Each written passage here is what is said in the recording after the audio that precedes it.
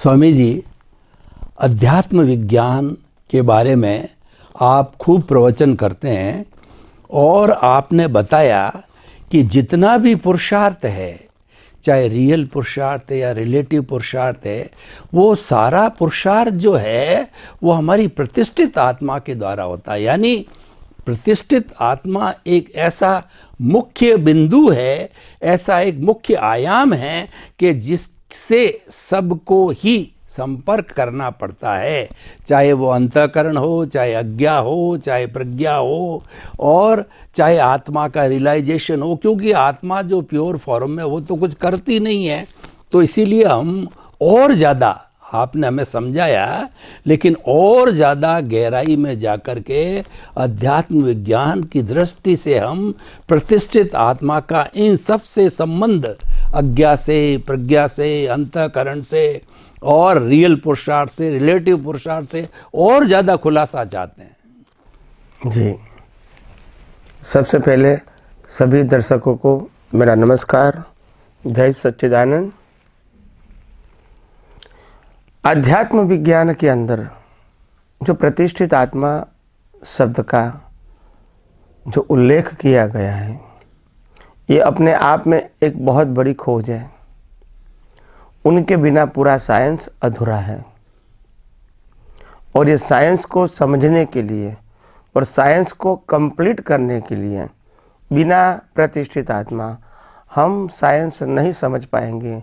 क्योंकि जब आप प्रतिष्ठित आत्मा को नहीं जानते हैं, नहीं मानते हैं तो फिर कर्म कर्म करने वाला और कर्म के भुगतान करने वाला दोनों के अंदर लाइन ऑफ़ डिमार्केशन कैसे बनाओगे क्योंकि आप तो शरीर और आत्मा दो, दोनों को ही जानते हैं। तो शरीर भी कर्म की भुगतान भी करेगी और शरीर नया कर्म भी बनाएँगी तो उसमें कोई प्रिंसिपल नहीं रहेगा। आप line of line of demarcation कहाँ बनाओगे? कौन से भाग को पुरुषार्थ कहोगे? कौन से भाग को परिणाम कहोगे?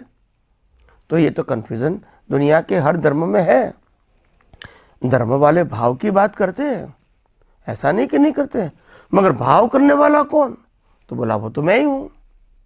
तो बात वही की भी आ गई। क्योंकि वो दो ही चीज़ को मानते हैं, आत्मा और शरीर। आत्मा और शरीर। तो आत्मा तो कुछ करता नहीं है। जो कुछ करेगा, वो शरीर करेगा। चाहे कर्मों के भुगतान करे, चाहे भाव करे। तो इससे कन्फ्यूज़न पैदा हुआ। और सभी धर्म के अंदर किसी व्यक्ति ने भी अभी तक कई सालों से हज़ारों वर्षों से। किसी ने इसका स्पष्टीकरण नहीं किया कि आखिर पुरुषार्थ करने वाला अलग है और परिणाम को भुगतान करने वाला दोनों अलग आइडेंटिटी है।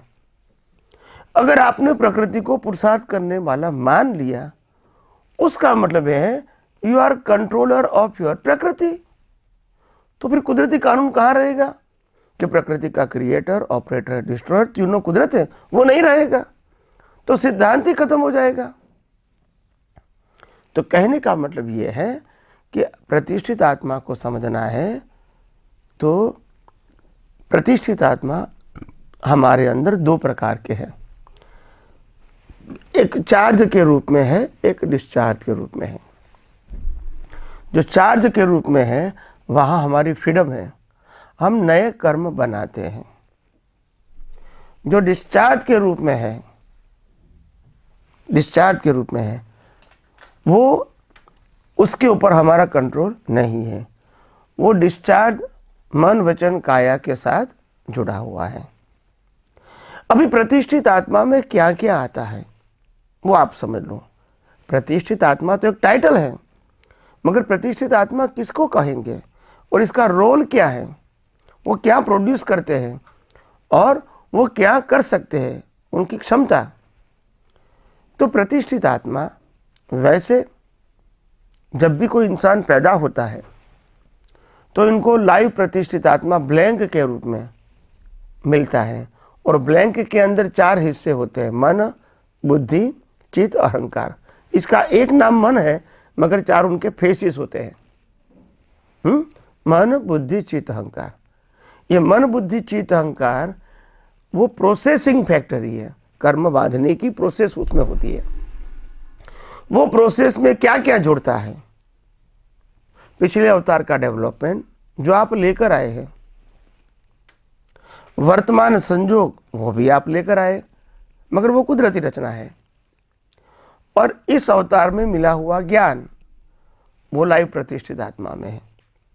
तो तीनों को मिला के ये लाइव प्रतिष्ठित आत्मा का जो अंतस्करण है, मन, बुद्धि, चित्त, अहंकार, इसमें प्रोसेस होती है। और प्रोसेस होके स्पीच और एक्शन का भाव बनता है। तो स्पीच और एक्शन का भाव वो बीज बन गया और मन, बुद्धि, चित्त, अहंकार में प्रोसेस हो गए। तो ये चार्ज अंतस्करण नेक्स्ट बर्थ में डिस्चार्ज अंतस्करण के रूप में काम करता है, जो मैकेनिकल हो जाता है। और स्पीच और एक्शन का संयोग कुदरत देती है। ऐसे cause and effect cause and effect ये चार्ज और डिस्चार्ज चार्ज और डिस्चार्ज ये दोनों प्रकार का प्रतिष्ठित आत्मा चलता रहता है। अभी मैंने डेवलपमेंट की बात कहा। डेवलपमेंट का मतलब होता है, ये दुनिया का जितना सनातन सत्य आपने जाना है, उपयोग किया है, अनुभव किया है वो हर बर्थ में डेवलपमेंट के फॉर्म में कैरी फ्रो होता है। तो डेवलपमेंट कभी चार्ज, डिस्चार्ज नहीं होता है। वो केवल दर्शन तक रहेगा।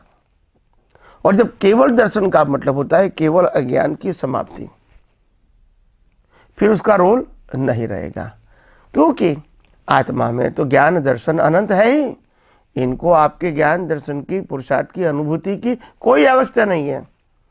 मगर आपने अभी तक इतने अवतारों में एकेंद्रिय से लेकर पंचेंद्रिय तक, मनुष्य भाव में भी बुद्धि के माध्यम से आपने जो कुछ भी ग्रहण किया था, वो तो रिलेटिव सत्य था।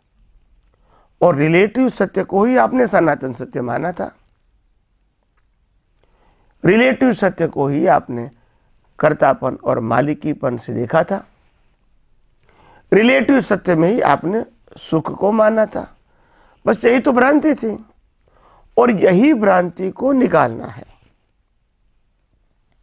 कि मैं मन वचन काया हूँ, मैं मन वचन काया को चलाने वाला हूँ, मन वचन काया जो भुगतान करता है, उसको मैं भुगतान करने वाला हूँ, चाहे पाप के रूप में, चाहे पुण्य के रूप में, चाहे सुख के रूप में, चाहे दुख के रूप में। कोई भी परिस्थिति मेरी नहीं है। वो सिर्फ़ मन वचन काया की है। मेरी नहीं है मतलब आत्मा की नहीं है। और मैं मन वचन काया। कुदरती कानून से मुक्त ऐसा शुद्ध आत्मा हूँ। तो शुद्ध आत्मा तो को कोई कंसर्न है ही नहीं। न था, न है और न रहेगा। मगर शुद्धात्मा की हाजिरी में और प्रकृति की हाजिरी में प्रतिष्ठित आत्मा जो लाइव है, वो जैसा भाव करेगा, वैसा कर्म बनेगा और कुदरत कर्म की भुगतान के संजोग देंगे। ऐसे जन्म मरण के चक्कर, चल, जन्म मरण के चक्कर चलते रहते हैं। तो इस प्रकार से हम ये प्रतिष्ठित आत्मा को ये कहेंगे कि प्रतिष्ठित आत्मा दो प्रकार के हैं। एक लाइव प्रतिष्ठित आत्मा, जो हर बर्थ में नया मिलता है। दूसरा डिस्चार्ज प्रतिष्ठित आत्मा, जो आज का ये बर्थ का चार्ज नेक्स्ट बर्थ में डिस्चार्ज हो जाएगा। तो डिस्चार्ज का मतलब होता है मैकेनिकल उसमें हमारा कंट्रोल बाद में नहीं रहेगा। चार्ज में हमारा कंट्रोल है। वो प्रतिष्ठित आत्मा का रोल क्या है? मैंने स्वरूप बता दिया, मन, बुद्धि चित अहंकार, और प्रोड्यूस करता है स्पीच और एक्शन का बीज ये उनका रोल हो गया। अभी प्रतिष्ठित आत्मा कितने प्रकार के? वो बता दिया, दो प्रकार का है। अभी हम आगे जाते हैं। ये प्रतिष्ठित आत्मा है। वो प्रतिष्ठित आत्मा कितने प्रकार का पुरुषार्थ करते हैं? तो प्रतिष्ठित आत्मा दो कैटेगरी का पुरुषार्थ करते हैं। एक रिलेटिव सत्य का पुरुषार्थ करते हैं, या तो सनातन सत्य का पुरुषार्थ करते हैं। जैसा ज्ञान दर्शन, वैसा पुरुषार्थ। तो रिलेटिव सत्य का पुरुषार्थ का मतलब क्या है? रिलेटिव सत्य का पुरुषार्थ का मतलब होता है सामाजिक और धार्मिक कर्म बनाना, जिसका फल भी सामाजिक और धार्मिक रूप में मिलेगा। जो पाप पुण्य से जुड़ा हुआ होता है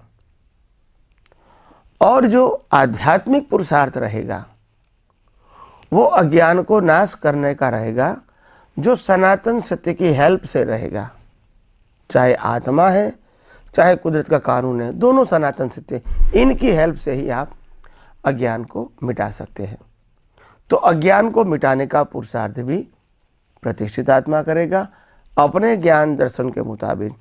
और और सामाजिक और धार्मिक कर्म बनाने का काम, यानी संसार को बढ़ाने का काम भी प्रतिष्ठित आत्मा करेगा, अपने ज्ञान दर्शन के मुताबिक।